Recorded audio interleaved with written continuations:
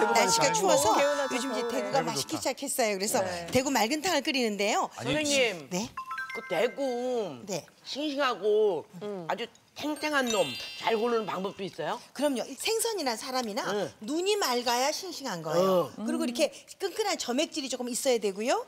위에가 보면 암갈색을 좀 띠고요. 배는 아주 은혜색을 띠는 게 우리 국내산이에요.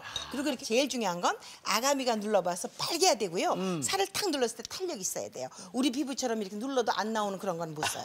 그러니까 탁 누르면 살이 톡 튀어나오는 거. 눈이 밝아야 되고. 네. 눈이 맑아야 돼. 네. 나이 먹 으니까 튀어나오는데요? 눈이 침침해져가지고. 나는 나는 많아서 튀어나오는 거고요. 대구 맑은탕의 특징은요. 물을 이렇게 쓰셔야 돼요. 이렇게 해서 바깥이 보일 정도로 얇게 쓰셔야 시원해요. 그래서 오래 끓이지 마시고 요거를 그냥 아주 바르륵하게 빨리 끓여내시죠. 이렇게 해서 얇게 그냥 끓이세요. 여기다 저는 지금 아무 간도 안 해요. 그냥 육수에다가 바지락만 넣고 요 무만 좀 넣고 끓이죠. 다른 생선 맑은탕이 네. 대구한테 가서 막 내가 더 맛있다 했다가 어따 대구. 아, 너 그래서? 나한테 그래가지고 대구. 아, 대구 맑은탕은 진짜 좋죠. 아 최고죠. 여름 그러니까 추운 여름보다 날. 겨울에 특히. 네.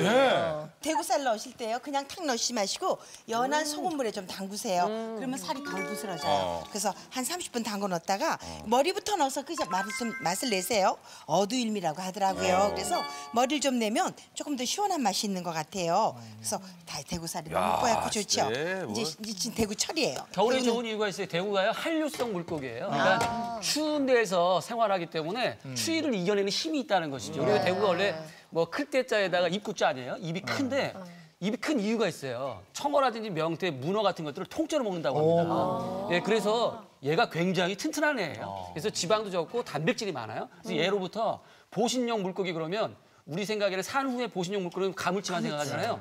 대구를 그렇게 많이 먹었다고 그래요. 그리고 실제로 대구가 또 젖을 분비해주는 그런 작용도 해주기 때문에 예전에 많이 활용했다고 합니다. 자 일단 아, 대구살이 아주 뭐 아시잖아요. 대구살은 아, 튼튼한 거. 예. 이게 지금 잔뜩 들어갔어요. 네, 뚜껑 열고 끓이세요, 이렇게. 네, 뚜껑 열고요? 네, 뚜껑 왜요? 열고 끓이세요. 비린내가 지금 순간 확 올라오니까 아. 요땐 좀 잠깐 열어주세요. 아이 대구탕. 네. 이렇게 육수만 해놓으시면 네. 식구들 진짜 저녁에 집에 들어와서 씻고 손 씻고 진짜 식탁에 앉는 사이에 네. 끓일 수 있으니까. 얼마나 귀중한 거야. 이 보관만 잘 해놓으면 은 언제든지 네. 뚝딱. 그럼요. 큰 가족들이 딱 없이. 들어왔을 때 그냥 바로 뜨끈하게 그냥 네. 바로 하니까 육수가 보배네. 육수가 보물이요. 야. 뜨는 것도 정성이 들어가 있네.